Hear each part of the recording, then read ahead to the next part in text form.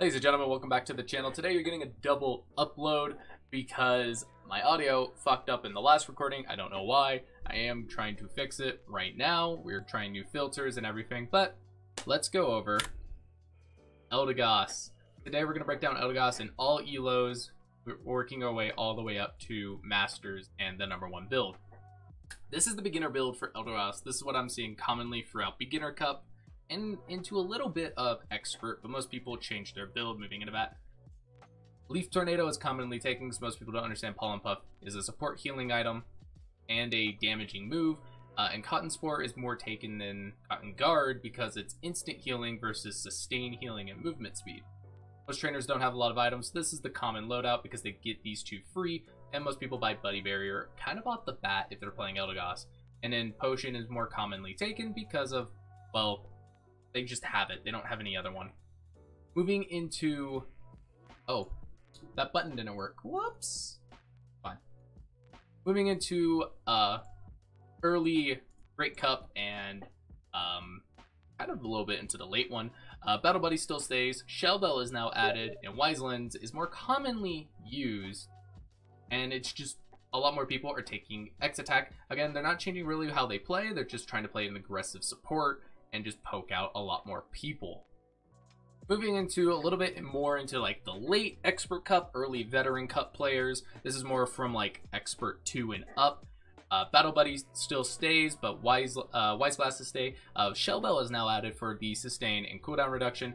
Eject button is brought because most people know that they need to flash out of fights and they need to be able to pull in and out. Uh, but most people now bring Pollen Puff because they understand the aspect that this is Zillion's bomb better and then Cotton Spore is brought because of the late healing and movement speed on top of the shield. So it's just sustainably a lot better of a move, and more people are understanding the kit of the Pokemon versus just wildly picking the Pokemon for shits and giggles I play Eldegoss.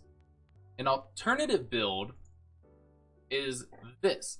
A lot commonly, people also play this because they feel that they need to play uh, their own solo laner. This is when you're not queuing with friends and you just don't know what to do. A lot of people do run this build, and it's called Mage Eldegoss. Uh, you still bring Pollen Puff and Cotton Spore because they're just the better sustain items, but you just bring two uh, attacking, uh, special attacking items with eject button. This helps you sustain and lane better, and it helps you poke damage. A lot of people argue that this is the better Eldegoss build. I personally don't like it. I think the other build is better with Shell Bell, but that's because cooldown reduction lets me spam Pollen Puff and if you get into that really late game, you can actually have two Pollen Puffs on the board state. And now moving into what the number one player in the world does for Eldegoss. This blows my mind. He's playing this in Masters ELO right now.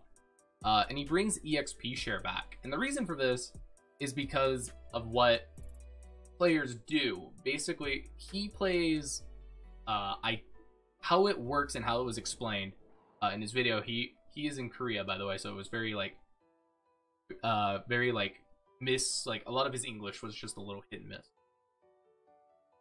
He brings EXP share because he no longer has to farm properly. He can take the first two Aipoms at the beginning of the match and go for an early score four, but then he only takes a farm here and there. For an example, he sees someone's trying to take an Audinoan on their side of the jungle or on his side, he'll snipe it with Pollen Puff or an auto.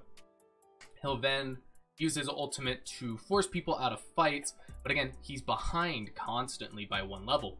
EXP share actually fixes that, so he's not behind one level, he's behind a quarter of a level. So he's constantly catching up to his team, a very weird progression.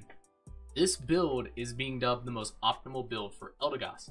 On top of EXP share, gives movement speed. Something that where Eldegoss really falls short is getting out from speed stars like Gengar and Absol. This item on level 30 fixes it. He's able to outrun most Pokemon with a level 30 Floatstone. The only issue that this build has run into, from what I have been told, is if he gets 4v1. You are dived by four Pokemon, this Eldegoss panics, and he doesn't quite this build panics and doesn't quite sustain as hard as it would with a cooldown reduction item or a separate um, attacking item. Either way, this build is great and optimized, but it does run into that issue. I want to know what your guys' thoughts are. about Eldegoss. I like all these builds personally, and I am actually trying this build right here with the EXP share. Uh, the issue is that my EXP share is level 1. Uh, my other items are all on level 16, so I am kind of playing that back foot of leveling it back up. But again, I want to know your guys' thoughts down in the comments below. And if you want more videos where I break down uh, how a Pokemon has been played in all elos, let me know. I'm glad to do more videos like this. Hopefully, hopefully, I know it sounds weird. I've recorded this video three times. Uh, I've had some OBS issues recently. Uh, hopefully, this video comes out. If it does, please look up, leave a leave a like. Wow, my English. Please leave a like, comment, subscribe, and I'll see you guys in tomorrow's upload.